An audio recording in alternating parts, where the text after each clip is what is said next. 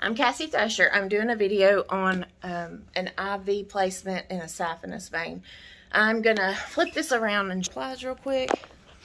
I've got my scrub, my end cap, my IV, my flush.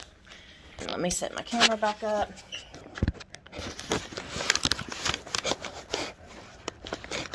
Watch it not stay now.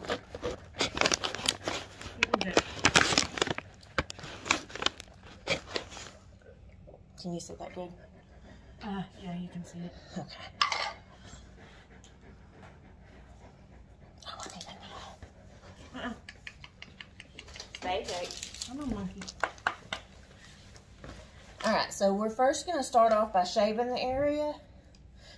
Oh, I watched the video, the instructional video, and I washed my hands. We're going to shave a little bit of the area. He don't have a whole lot of hair to begin with right here.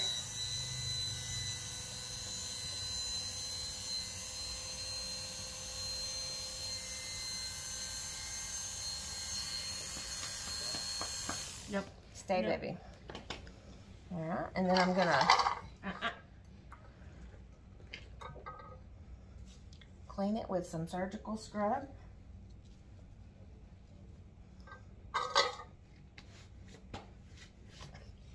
Stay.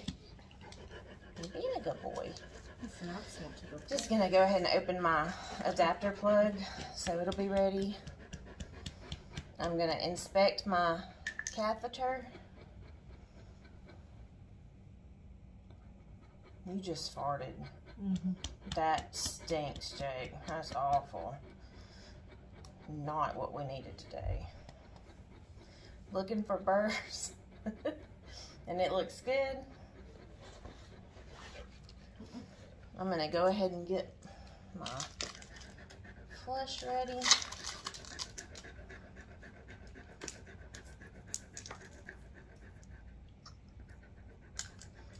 All right, I'm gonna have Bridget hold off and distend the vein for me.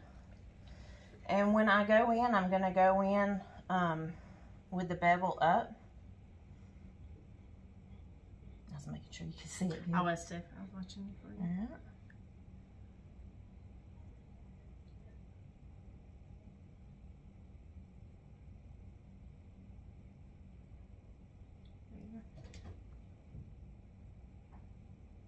And I've got flash. So I'm not gonna continue with a whole needle. I'm just gonna continue with the um, with the catheter. So before I pull my whole um, my needle out, I'm gonna ask Bridget to release and hold off where my catheter is, so it don't bleed for me to place my plug. And then I already had my tape ready. I don't know that I showed that in the video in the beginning. I'm placing it sticky side down, and I had three pieces prepared. I'm going to wrap one time around to secure the catheter. And then I'm going to go halfway above the neck, that first piece of tape with another piece of tape to make sure that it doesn't come out. And then I'm going to go one more time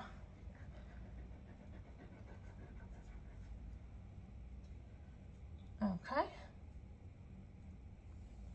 And it is secure. We're going to flush it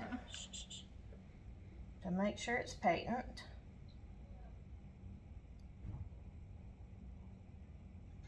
Okay. And then we will document this in his chart.